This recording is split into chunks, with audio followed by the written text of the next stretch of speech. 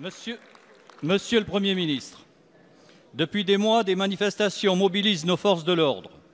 Des policiers des gendarmes ont été blessés et il convient de dénoncer ces violences et ces dégradations commises par des personnes irresponsables, totalement étrangères au mouvement des Gilets jaunes. Pourtant, la plupart des victimes de ces violences se trouvent du côté des manifestants. Alors que des solutions moins coûteuses financièrement et épargnant les dommages humains étaient possibles dès le mois de novembre pour faire cesser les manifestations, vous avez choisi de laisser pourrir la situation qui a dégénéré au fil des semaines. Cela a suscité de l'exaspération, du désespoir et une véritable hécatombe dont vous portez l'entière responsabilité par votre gestion calamiteuse du maintien de l'ordre.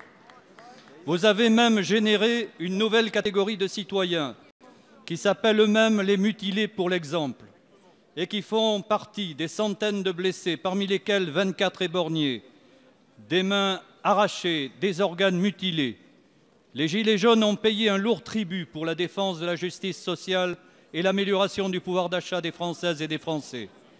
Ils ne sont pas d'obscures statistiques, mais des citoyens dont les existences sont détruites par une violence qui aurait dû être évitée.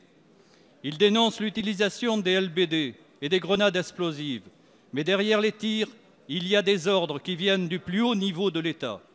Ce ne sont d'ailleurs pas les propos de Laurent Nunez, secrétaire d'État à l'intérieur, qui vont nous rassurer sur la façon dont vous traitez vos oppositions. Je cite Ce n'est pas parce qu'une main a été arrachée, parce qu'un œil a été éborgné, que la violence est illégale.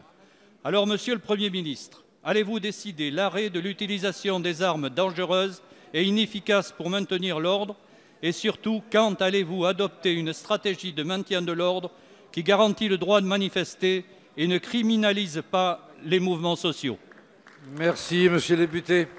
La parole est à Monsieur Christophe Castaner, ministre de l'Intérieur. Monsieur le Président, Mesdames, Messieurs les députés, Monsieur le député, depuis euh, le 17 novembre, 49 267 manifestations ou occupations, euh, le plus souvent illégales du domaine public, ont eu lieu. Et hélas, euh, trop souvent, elles ont donné euh, lieu à des violences, des violences urbaines, des attroupements, voire des émeutes. Voilà la réalité à laquelle nos forces de l'ordre ont dû faire face. Et elles ont fait face en subissant de violentes agressions. Et vous avez évoqué, monsieur le député, cette réalité-là. Et elles ont fait face en gardant leur sang-froid. Contrairement à vous, monsieur le député, je soutiens les forces de l'ordre et je ne rajoute pas un mais. Parce que je pense qu'au quotidien, elles sont présentes et qu'à chaque fois, monsieur le député, elles s'engagent. Et je pense, monsieur le député, que la République leur doit une reconnaissance toute particulière. Il n'y a pas eu une majorité, euh, comme vous l'avez dit, de blessés seulement chez les Gilets jaunes. Et contrairement à vous, monsieur le député, je ne fais pas la différence. Un blessé, qu'il porte un gilet jaune ou qu'il ait un képi bleu, est toujours un blessé trop. C'est cela la réalité. Et près de 1815 policiers, gendarmes et sapeurs-pompiers engagés dans la gestion des manifestations ont été blessés. Monsieur le député, vous le savez, les forces de l'ordre peuvent avoir un recours légitime à la force.